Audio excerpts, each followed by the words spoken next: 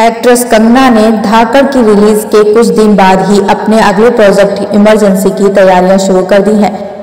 फ़िलहाल कंगना रनौत ने creative team के साथ शुरुआती बैठक की है। इंदिरा गांधी के किरदार को महिला सशक्तिकरण से जोड़कर पेश करने वाली हैं कंगना।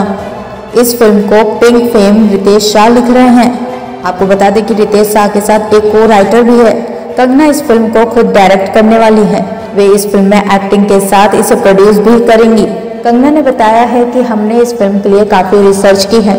हमने उनके बुक्स के राइट्स भी लिए हैं। इमरजेंसी का जो मुद्दा है, तब वह मीडिया में दब गया था। इमरजेंसी का फ़ेज़ राजनीतिक घटनाक्रम के लिहाजे से बेहद एक्साइटिंग माना जाएगा। वह इसलिए कि तब एक महिला प्रधानमंत्री थी।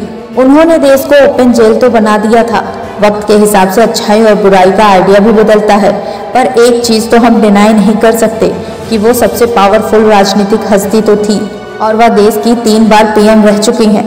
उनके पावर के साथ साथ कैसे तब देश में इमरजेंसी की घटना हुई, वह सब भी हमारी फ़िल्म में देखने को मिलेगा। ब्यूरो रिपोर्ट आई